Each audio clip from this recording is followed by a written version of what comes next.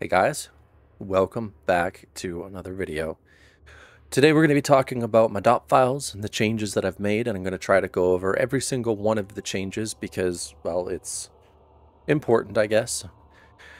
Now, the first thing is the settings are completely and utterly redone.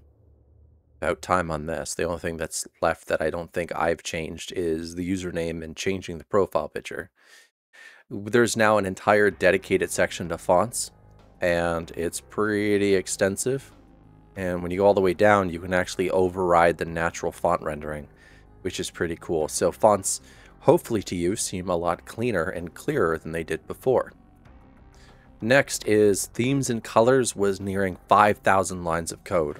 So well what I've done essentially with this is wait that's not even open. Let me open this up real quick when I right click this, you would have, have saw in the in the past that uh, the workspaces were like this. I had in my old dot files the ability to minimize that. So I took that concept and I applied it to here. So now we have subtabs handled a lot differently. They're their own QML files and it takes everything from in here and it splits it up into things like this. So even this has been completely and utterly redone and handled differently. So you can pretty much customize things the way that you want. It's absolutely brilliant. I'm still working on it for the most part, but there you go. Then we split up appearance, components, system settings and stuff right in here, and displays right here. And then I took Hyprland theme stuff and I put it right over here.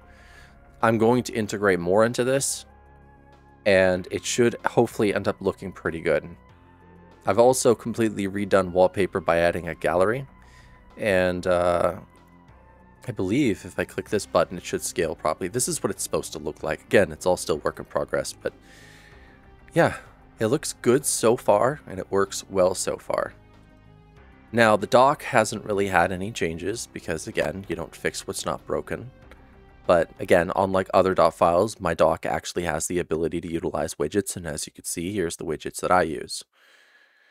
And then, top bar has not changed at all either.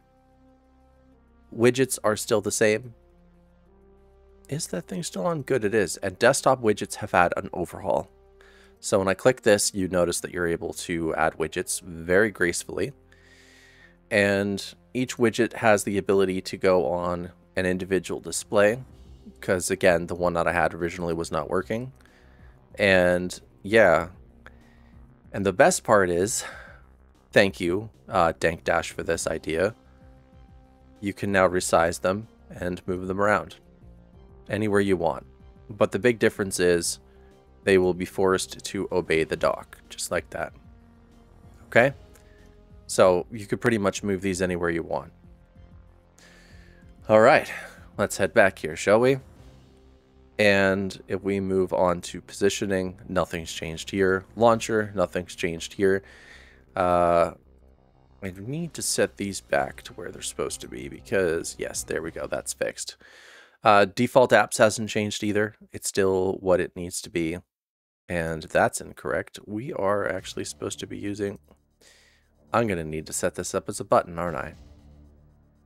That's the one problem that I have with uh, dealing with a resizable window is that it's really, really difficult to make sure that the drop-down menus appear outside of this.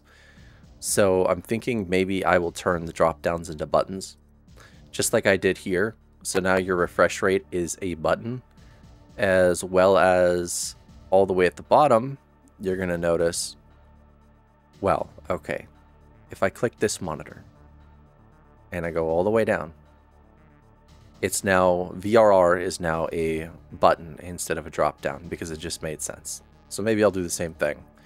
As for sound, uh, this actually now works, which is really, really nice. So if I open up something like Cider over here, and I'm actually going to mute this, and if I hit play on this Avril Lavigne wannabe, you can see it says cider.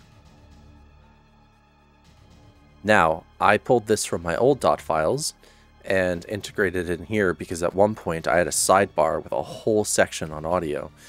Uh, it was really, really detailed and it worked out really, really well. But I also took this and I turned it into a widget, and I'll show you that in a second. Um, other than that, I think that's covering all the changes to settings. But I do still want to show you that nifty little widget that I made for um, the volume mixer. And of course that happens. That's been happening a lot lately since I've updated. But uh, there you go. Look at that. And again, we exit and I hit play. There's cider. Now, of course, it still needs a little bit of work, but it does function like it's supposed to, and that's pretty damn good with me. All right, other things that I've done is that this, the menu will now follow where you click on the widget. So it's just basic positioning. And as well as I fix this, basic positioning, and uh, not you, go away, but you. There we go. So now it's it's just better. Uh, it took a long time to do this, a long time to learn how to do this, to shaping things up. And as I said, that's just happening more and more lately, no matter how hard I push this. And it seems to just be some weird issue with QuickShell doing something. Because I've had it on other people's dot files as well. So I'm not sure what's going on there. Oh well. I hope you guys enjoyed this video. If you did, you know what to do. Hit the like button, subscribe, leave a comment, share the video. And uh, if you want this, uh, check in the description below. You'll find a YouTuber named Finley. I'm uploading builds on his Discord because uh, it's a lot easier to deal with. The people there are super nice, and I don't know, they tested and reported issues, so it just seems like a good idea. It will be in the Dark Material Shell channel. Bye, everybody.